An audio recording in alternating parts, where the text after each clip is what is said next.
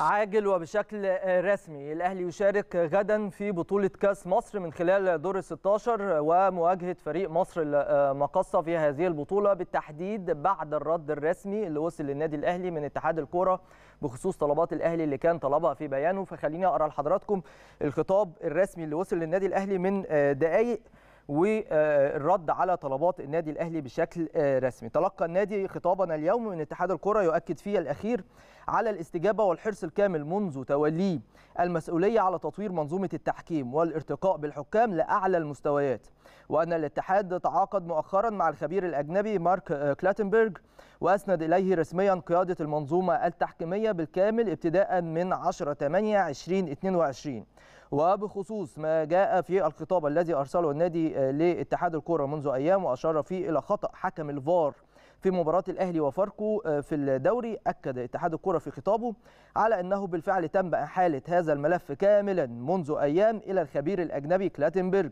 بوصفه المسؤول الأول عن منظومة التحكيم للتحقيق في كل الأوضاع القانونية والتقنية واتخاذ ما يلزم من قرارات تصويبية. لكن حسبما جاء في خطاب الاتحاد أنه طبقا للوائح المنظمة.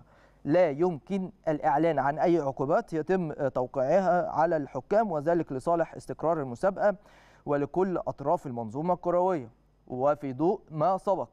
واستجابة اتحاد الكرة باختياره قيادة جديدة لمنظومة التحكيم وتسليمه المهمة رسميا وتحويل ملف حكم الفار في مباراة الأهلي وفاركو في الدوري للتحقيق لاتخاذ ما يلزم من قرارات تصويبية دون الإعلان عنها تماشيا تماشيا مع اللوائح المنظمة.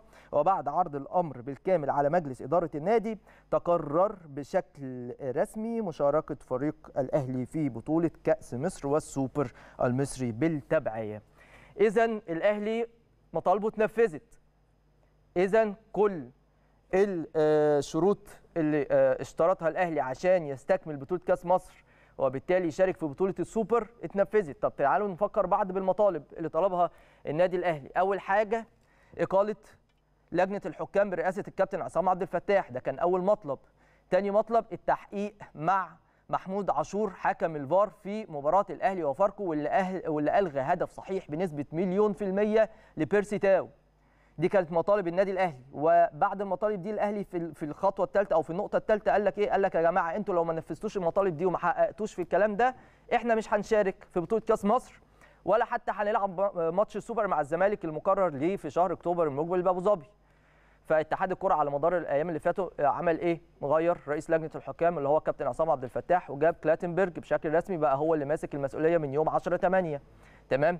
اتحاد الكرة كمان أخطر الأهلي بإيه؟ قال لهم يا جماعة أنتوا كنتوا طالبين إن يبقى في تحقيق مع محمود عاشور بالفعل في تحقيق مع محمود عاشور لكن مش هنعلن عن العقوبات طبقا للائحه وطبقا لمصلحة منظومة التحكيم لأن دي حاجة يعني دايما بتحصل. آه ممكن يبقى في عقوبات يبقى في أخطاء بيتعاقب عليها حكامنا لكن في نفس الوقت ما بيبقاش في إعلان عنها. وبناء عليه الأهلي خلاص كده شروطه اتنفذت فبالتالي الأهلي هيلعب في مباراة المقصة بكرة. وبالتبعية هيشارك في مباراة السوبر أمام نادي الزمالك اللي هتكون في أبو ظبي. فترقبوا خلال يعني الساعات القليلة جدا المقبلة. خلاص الفريق بيستعد طبعا من خلال مرات اليوم لمباراة المقصة. وبالتالي هيكون في قائمة للفرقة والأمور هتبقى ماشية بشكل طبيعي بعد ما الأهلي يحقق كل اللي هو عايزه. بالمناسبة بقى هل ده ضعف من اتحاد الكرة؟ لا. اتحاد الكرة عمل كده ليه؟ لأن شاف إن الأهلي عنده حق.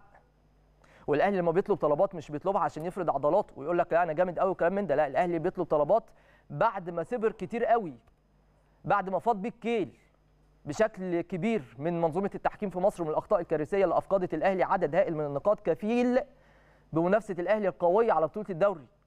هذا الموسم فقال لك لا بقى إحنا يا جماعة لازم يبقى في وقفة لازم يبقى في حل. أنا طلباتي واحد اتنين تمام؟ اتنفذت الطلبات دي عشان الأهلي عنده حق.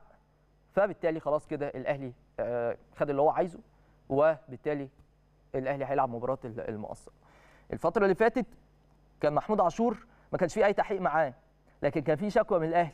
الكابتن عصام فتاح كالعادة تجاهل تجاهل شكوى الأهلي وما بصش فيها. بل بالعكس اشاد بمحمود عاشور وقال لك هو الراجل أصلا ما غلطش رغم إن العالم كله قال لك إن محمود عاشور غلط. بما فيهم كلاتنبرج الراجل الجديد. لكن عندنا في الأهلي كان في توجه من الكابتن عصام فتاح لإحراج النادي الأهلي لإحراج النادي الأهلي عشان كلامنا يبقى واضح. تمام؟ لكن اتضح إن محمود عاشور غلط. لو ما كانش غلط ما كانش اتحاد الكورة حقق معاه أو ما كانش حول الشكوى لكلاتنبرج اللي أنا بقول لحضراتكم في اجتماعه مع لجنة الحكام أقر بخطأ محمود عاشور. لكن مش هيكافئوا الفترة الجاية. اللي كافئوا خلاص الكابتن عصام عبد الفتاح اللي رحل بشكل رسمي من رئاسة لجنة الحكام باتحاد ال- الكورة. لكن إحنا في عصر جديد مع كلاتنبرج إن شاء الله نتمنى له كل التوفيق. لكن خليني أعيد على حضراتكم وأكرر تاني. الأهلي خلاص غدا هيلعب مباراة المقصة في دور ال 16 من بطولة كأس مصر الموسم الحالي. بعد الاستجابة لمطالبه في خطاب رسمي وصل للنادي من دقائق من اتحاد الكورة. اللي أقر فيه بشكل أو بآخر بأحقية النادي الأهلي في طلباته واللي نفذ طلبات الأهلي. تاني عشان الأمور تبقى واضحة لل- للجميع. الأهلي كان طالب إن يكون في لجنة حكام جديدة أو رئيس لجنة الحكام جديد. ده حصل. كلاتنبرج جه كان الكابتن عصام عبد الفتاح. الأهلي كان طالب التحقيق مع محمود عاشور. اتحاد الكرة قال للأهلي فعلا آه، آه، يعني تم تحويل الشكوى بتاعتك لكلاتنبرج وأكيد هيكون في تحقيق خلال الفترة اللي جاية بناء عليه. بشكل رسمي يا جماعة الأهلي هيلعب بكرة مع المقصه وبالتبعية يشارك في مباراة السوبر مع الزمالك في شهر 10 المقبل. اذا دي آه، كل الأمور وهذا الخبر الهام والعاجل.